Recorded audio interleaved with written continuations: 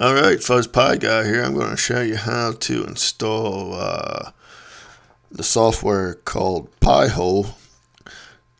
This software works great for blocking ads and everything on all your devices that's connected to your uh, router or your network.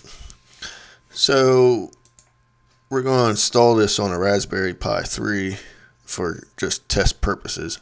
I have this running on a banana Pi at the at the current moment, but we're just going to install it on a Pi here for testing. So, for the purpose of the video, anyway, let's get to it. So, we can install this with one batch command. So, it doesn't take too long to set this up.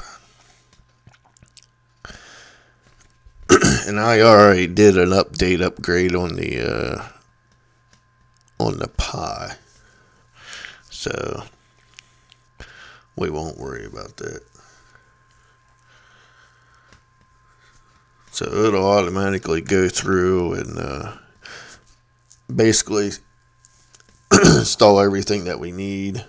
We just gotta configure a few little things and uh, be up and running. So, so we're going to be running on the Ethernet connection because you could do both. Either, well, I mean, you could do either or. then to uh, select your DNS, they added a lot more features to this than what it was when I first started using mine. So, we'll just say Google.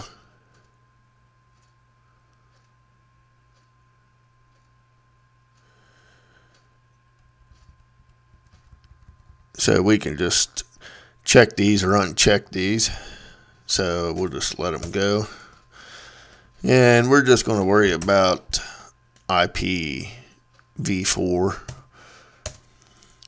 Now, this is the IP address of my Pi 131 with a subnet of 24. Now you can go ahead and change that here if you'd like or just go ahead and use it. We're just going to go ahead and use it.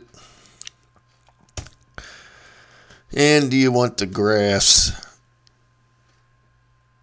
Say yeah. And we'll do yeah for that one. Yes. Now the thing is, this has a DHCP server built into the software, so you can actually turn your DHCP off on your router and use what's on the uh, what's in the Pi-hole, which I have done that in the past myself.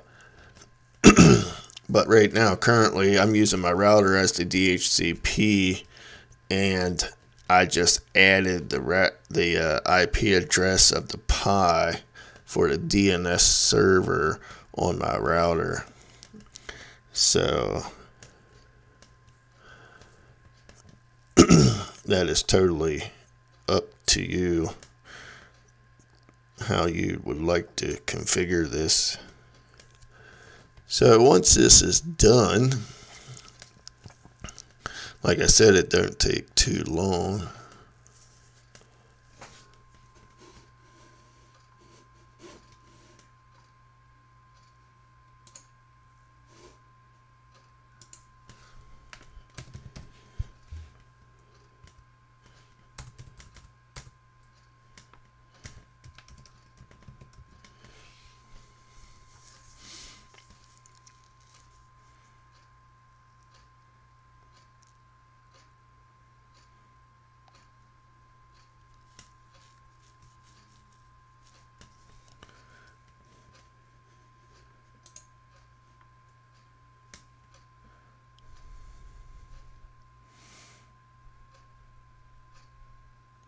Then once this is done, it'll give you a,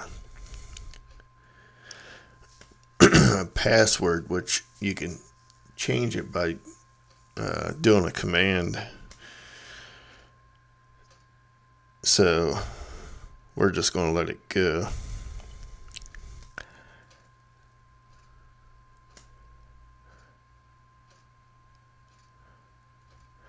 All right, so your password is this right here. Right down here is the password. So we can just uh, uh, write that down or whatever. But here's where you need to go. So we'll just hit OK. So uh, we need to go to that. But right here is the command to change the password if you don't like what they give you. You could just use it to change it. So we're going to go ahead and go to the address of the Pi. Let me bring this screen over here. Alright, so as you can see, it gives you the temperature and stuff. Uh, what is the password here?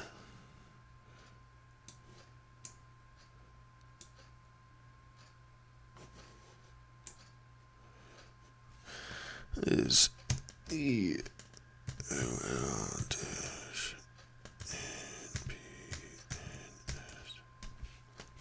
right, we're in. So we'll just. All right, now we're logged in. So what we can do is go to settings. this is where your DNS is. We'll listen on on that port. Uh, we can select that, unselect that. We can hit save. So now it'll show the temperature in uh, Fahrenheit. Uh, then if we click on dashboard, it'll take us back. It'll show us that we have one client.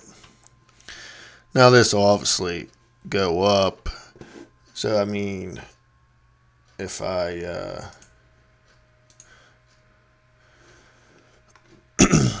add this IP onto my uh, router, then obviously this stuff would change, but it's not going to because it's not set up.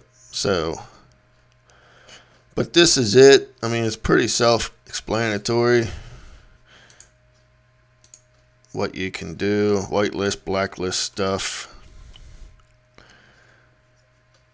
uh, and so on. But now that we're there with that, we're going to minimize that for the time being because we're going to go ahead and install how to add speed test to this. If you would like to have a speed test show on the Pi, we can do that. So, uh, bear with me and we'll go through this. So hopefully this won't take too long. Let me pause this and I'll be back when this is done. Alright, now we got another command here to run.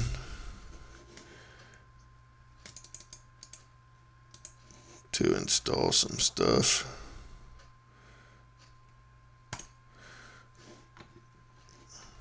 It's already that. Now, you want to make sure you change the uh, your local time. So we'll just pick one here.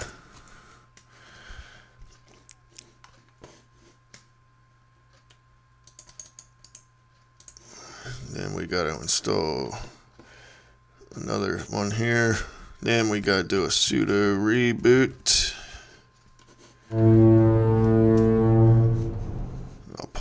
This until it's back up and running. All right, I ran a command. I ran this command just to make sure that the speed test was working, which it was. I'm just not running it because it was showing my IP address. So now what we need to do is we need to get into root and cd into a directory and we got to move some stuff.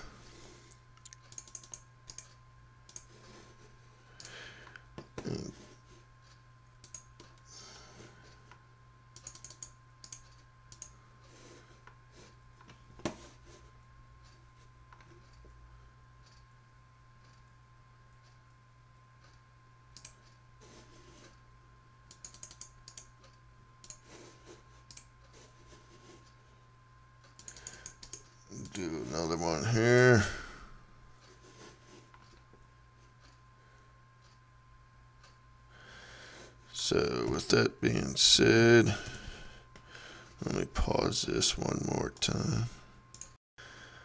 All right, now we're back. I did a reboot after that. Got back in here.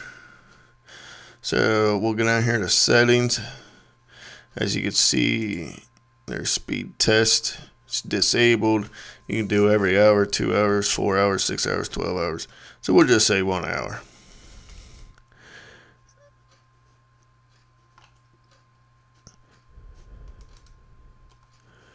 Then if you want to flush it, we'll just save. Now that it's saved,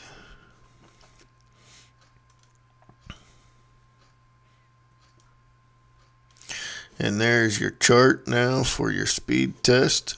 So every hour it'll do a speed test and it'll show you. Now the sad thing is if you're using a Raspberry Pi 3 or before, you're going to be capped at 100 meg. At least with the Raspberry Pi 3B Plus, you'll be capped at 300 meg, which is a lot better. Now the nice thing is I'm using a uh, Banana Pi M2, which is it has a 10 slash 100 slash 1000 uh, uh, Ethernet jack on it, so that's not a problem. But uh, that's it, folks. I mean, so it's not too hard to set this up. The guys make it make it really easy for a user to set this up. So uh, if you want to disable it, just disable it, save it. So, all right. Thanks for watching. Stay tuned for more videos, and uh, I'll see you on the next one. Thank you.